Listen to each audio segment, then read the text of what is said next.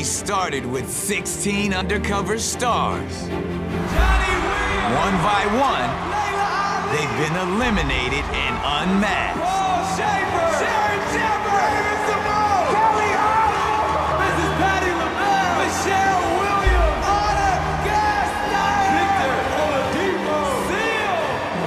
Oh, you are perfect, darling. Bye bye, baby. In tonight's season finale, three finalists take the stage one last time. Fox, I didn't know until right now exactly how much winning this would mean. Flamingo, I was told I would never amount to anything. We love you. and Rottweiler. I said that you were the strongest vocalist. You did not disappoint. I feel like I've already won. It's an epic fight for the golden mask.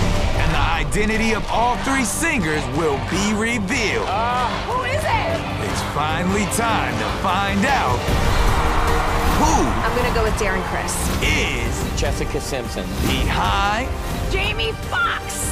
the mask.